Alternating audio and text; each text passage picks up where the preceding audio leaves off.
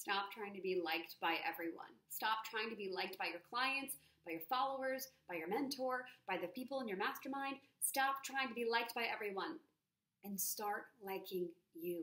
This is something that I have been working on for all of my life and especially diving into 2022 where I had realized that my next level was just me loving me.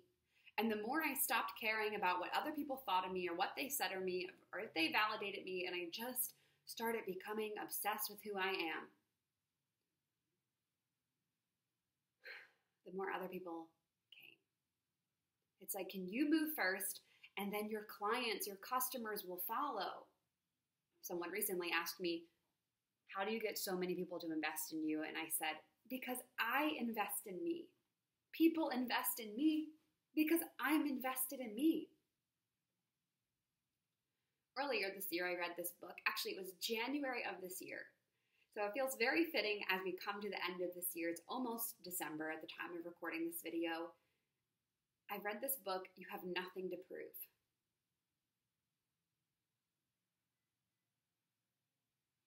You have nothing to prove to anyone. I know it, can feel weird. It's very natural to want to be liked by the tribe. You don't want to be ostracized from your community. But a leader's job isn't to be liked by everyone. Leaders have to make hard decisions. Leaders have to use their voice. Leaders have to show up. Leaders have to continue on even when the storm is grow- going. Leaders are at the front of their ship steering the crew even when there's massive tidal waves coming at them. No one ever said leadership was going to be easy. No one ever said it was going to be something that it's just it's just you're you're you're leading thousands of people, hundreds of people and it's just amazing and everyone likes you. No. When you start leading more people, there are going to be people that seriously hate on you. That's okay.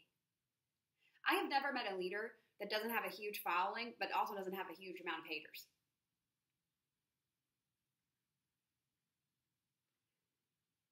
Stop trying to, for everyone to like you. Not everyone's going to like you. You have to like you, especially when you're on the internet especially when you're posting every day and you're putting yourself out there, you have to be in this energy of I'm I'm going to post this knowing that you're going to get people that don't like you. Are you okay with what you say? Do you stand behind you? Do you stand behind what you're selling? Do you stand behind your messaging, behind what you're saying? At the end of the day, that's all that really matters. I literally lived in people pleasing my entire first year of my business. I wanted all of my clients to be happy. I wanted them to like my programs. I wanted them to like me. And it didn't help me. It resulted in me being stressed. It resulted in me hand holding. It resulted in me like trying to do everything for everyone. And then I let go of that and I said, screw this. I have nothing to prove. I'm going to stop doing this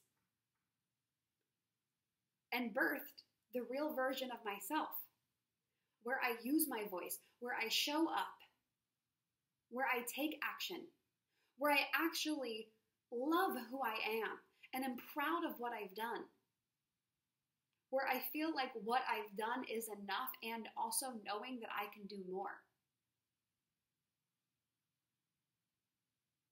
There are days, even to this day, where I feel like I'm not enough.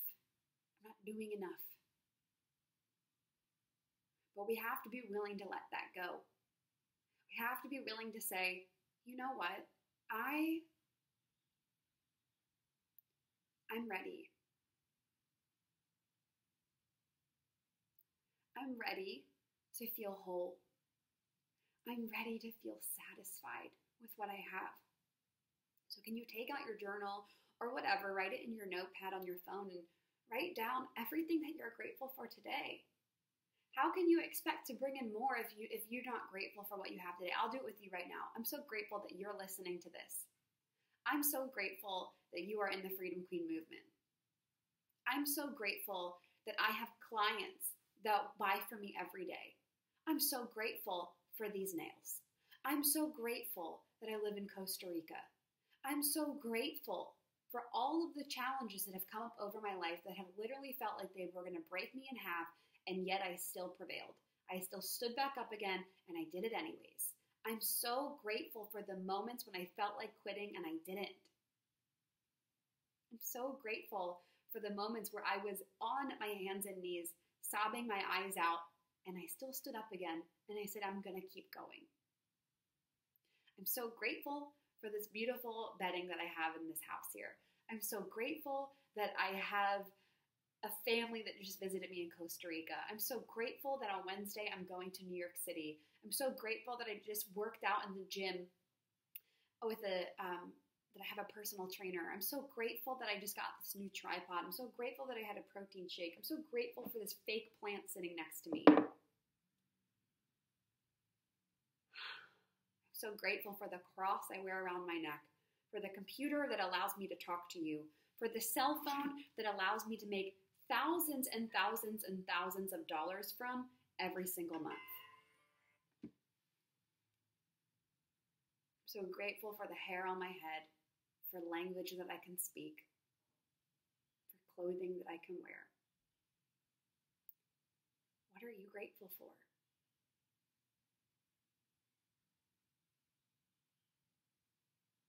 Many parts of my life that I have today,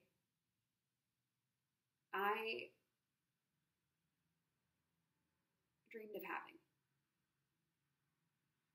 I dreamed of having this many parts of my life, my whole life. I dreamed of having. I dreamed of having a relationship. I dreamed of feeling beautiful. I dreamed of being super healthy and fit. I dreamed of having a cook. I dreamed of having a personal trainer, of living in Costa Rica, of running my business, of traveling the world, of hosting retreats, of making $50,000 plus per month.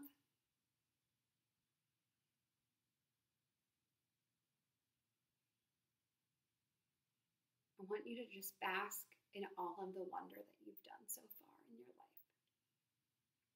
I want you to bask in everything that you've created for yourself.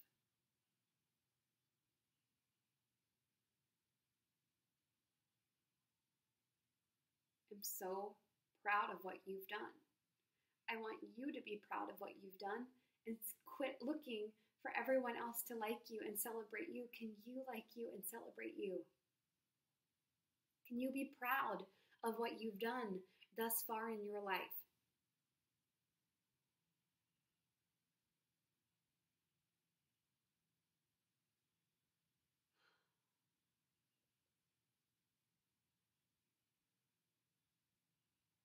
The reality is is that you are going to live an extraordinary life. I truly know and believe it. I want you to just take a moment and pause before we go into your next chapter and adventure.